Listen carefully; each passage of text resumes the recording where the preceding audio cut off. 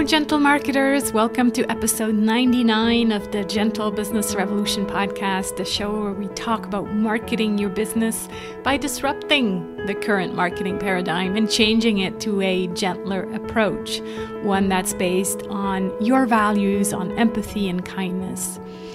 I'm Sarah Santacroce, I'm the host here, and you know that you're in the right place if you are a heart centered entrepreneur or change maker who is looking for a different, a better way to market your business.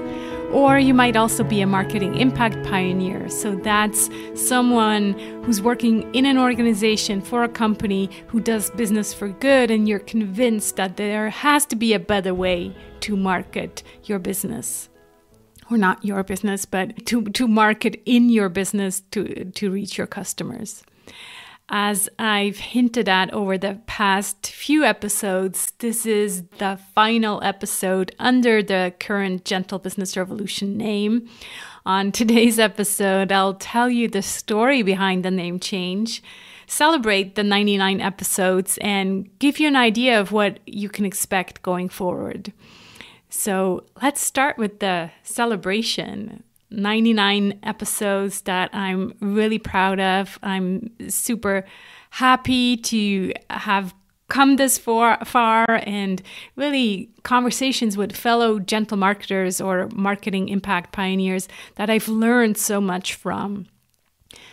If you are a fellow podcaster, or maybe you've just heard this say before, a, a podcast is a lot of work but is also a lot of joy and it fulfills one of my top five values, which is curiosity. I love learning from my guests and learn something new on each episode. Just last week's episode, for example, with Emma Louise, was such a big aha that I asked her if I could include her idea in my upcoming book about gentle selling. So if you haven't heard that episode yet, it's episode 98. So sarahsantacroce.com forward slash GBR98. So, yes, I love podcasting. And even though it costs me more money currently than it makes, because I'm not running ads and I can't stand them and I can't stand the, the fake sponsorships, um, I see it as my way of giving back. And of course, I also consider marketing, and marketing costs either money or it costs time. So I might as well spend it in a joyful way, and I am. So, yes, really, really happy with these 99 episodes of the Gentle Business Revolution podcast. It's hard to pick a favorite episode, but if I had to, I'd probably pick my conversations with Penney Peirce about the seven P's of gentle marketing and a change in perception. Penney is a clairvoyant, visionary, and an author of several books, and someone I now consider a friend. And in June 2020, we recorded a series of six episodes about my seven P's of gentle marketing so going around the mandala, the one page marketing plan, if you don't have yours yet, hurry up and go grab it at sarahsantacroce.com forward slash one page, the number one and page. And yeah, and her view of the change towards a more intuitive age. So it's quite woo woo. Like it's it's funny because I'm the grounded one. I'm like, okay, I need to bring you back down to earth here, Penney, because she can go really out there and fascinating concepts that she's sharing. So it's quite woo woo. If that's your cup of tea, you can view or listen to these episodes at sarahsantacroce.com forward slash penny, and that is P E N E Y. But there are so many other great episodes. That's the beautiful thing. If you handpick your guests and don't just do a daily show with whomever comes your way, you know, whomever pitches you the latest uh, email marketing scam or you know you really have to talk to this person how she became a min- millionaire overnight blah blah blah. Like i get so many of these pitches and i just kind of look at them and go oh i feel you i hear you but no thanks. So yeah there are all beautiful conversations with like-minded people. So yay for 99 episodes So you must be wondering, well, why change? It was going so well. Everything feels great and it's it's not like I'm wanting not to be gentle anymore or I'm kind of getting away from the, the gentle business approach. Not at all. So if you're on my email list, also when you download the one page uh, marketing plan, sarahsantacroce.com forward slash one page, you will get future communications from me. So if you are on that email list, you have probably already received the first email and kind of know what I'm talking about. But in case you're not, here's the story. So it started with the Gentle Marketing Revolution book launch during the Random Acts of Kindness Week in February of this year. So, February 2021, it felt great. I felt like this was such a great time to publish this book. It felt like it was all coming together. You know, it was after the, the, the lockdown, winter was coming towards an end. And it, yeah, it just really felt great and exactly how I had envisioned this launch gentle, valuable, and not focused on me, and rather on the idea of kindness in business. So things felt great. Unfortunately, two weeks later, I opened my email to some devastate, devastating news.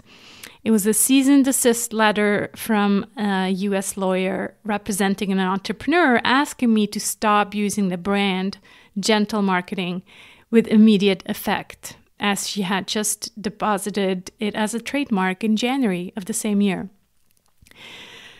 My plea to discuss and collaborate as gentle markers instead were refused. So, yeah, I was in a very, very dark place.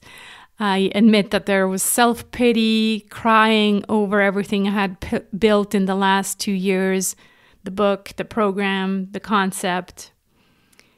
But it was more than that, it was bigger than that. It was really uh, the fact that my ideal world was shattered.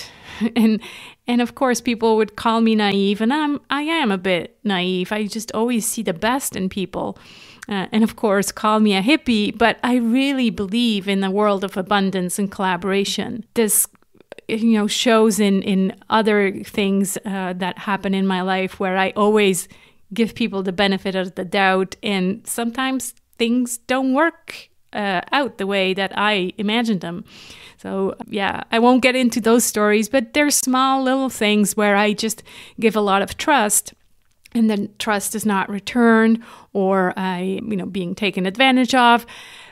But it doesn't bother me more than that. But in this case, it just really didn't make sense to me. After three weeks in a foggy, depressed state, taking legal advice, talking to hubby and friends, it occurred to me that I still had a choice. I could either invest time, energy, and money into a lengthy legal procedure, or I could choose to accept what was hers according to the legal system that we have in place and instead start over, invest my energy into something positive. And so uh, I think you could guess that I chose the latter. So I signed the settlement agreement accepting that gentle marketing is a US trademark, and I'm therefore no longer allowed to use it when talking to a US audience. This is the law, according to the United States of America, and since I live in a society that obeys to that law, I agree to it. So we're rebranding, and I I need to change all the things that include gentle marketing. That includes the podcast, the book, my site, my programs, the way I call you on the on the podcast. I can't call you gentle marketers anymore. So, a lot of changes, but the new term is just as good, if not better. And in terms of the concept and ideology, nothing changes. Over the next month, I'll be slowly telling the story of how I found this new brand and I'll be sharing it with you here on the podcast in some short little muse episodes. Or if you're on my list, you'll also get it via email. Big sigh. I see really what happened as a learning. And yes, I did file the US trademark for the new term, even though I still feel like if someone else wants to use that term in some other context, why not? You know, we can talk. But overall, I'm really excited to see what the next chapter looks like. I feel like the new brand is even better, bigger, more me, more inclusive. And I really think what happened was part of my path. Was it easy? No, man, it was not. In the weeks after receiving the news, I was definitely in a dark night of the soul moment. I thought I couldn't get the strength to start over. I was really upset at this person. I was upset at the outdated legal system. Most people I talked to recommended I fight it. I talked to three lawyers, and all of them were happy to take on the case and find the loophole to win. But here's the thing I didn't want to fight fighting a, about something that's supposed to be gentle and fighting just about something that actually doesn't belong to anybody. The word gentle, in my opinion, doesn't belong to anybody. Our clients don't belong to us. So all of that is just silly to me, and it's a it's kind of almost a paradox. And so no, I didn't want to fight to own the term gentle marketing in front of a, a law and you know being represented with lawyers. So, yeah, it was just not aligned with my values. And it's interesting, just around this decision time, Tara Brach published an episode on her podcast where a lady did a meditation based on a concept she called do no harm, but take no shit. So that's exactly how I felt about this. I was upset that someone was taking away my freedom, and I didn't want to let it affect me. But I also wasn't interested in holding a grudge and feeling like a victim. Which brings me to a story that Greg McKeown, the author of Essentialism, my all time favorite business book, and his latest book, Effortless, told on Tim Ferriss's podcast. I think it's based on a sto- an old story. Can't remember some French author, Guy Maupassant, maybe. Um, can't remember, but it goes something like this. So there's this guy who's living in a village. He's respected in his community, and he's on a walk through town, and all of the sudden sees a little piece of string on the floor, which he then picks up because he could he thinks, oh, that could be useful one day. And it just so happens that in the same square, somebody else lost their wallet and they see him picking this thing up and they assume and believe it's the lost wallet. They accuse him, they tell everybody uh, about it, and basically call him a liar because he insists that it's not true, but they really still judge him. And, you know, they don't trust him anymore. So the story goes on and he just keeps defending himself, but it was just a little piece of string. It was just a piece of string.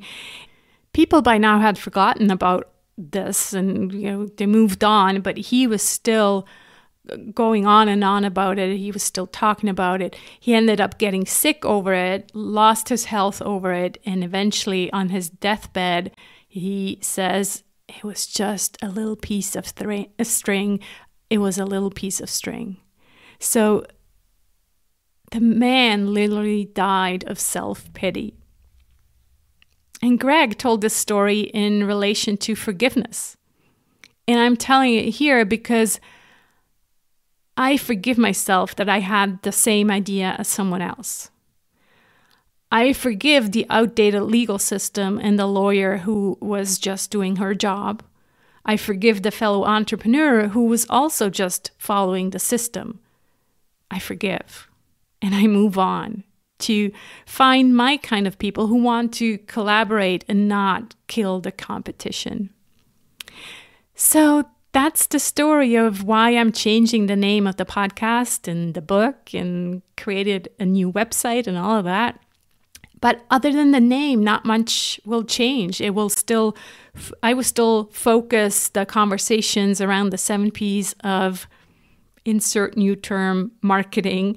I will still have amazing guests. Our circle will continue to come together each month to support each other. And the only thing that really changes is the term.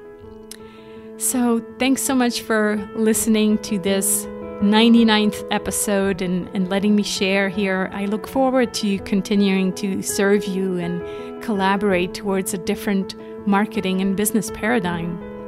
So, stay tuned for some mini episodes during August in which I will slowly and with pleasure unveil the new brand. And in the meantime, be the change you want to see in the world. Speak soon.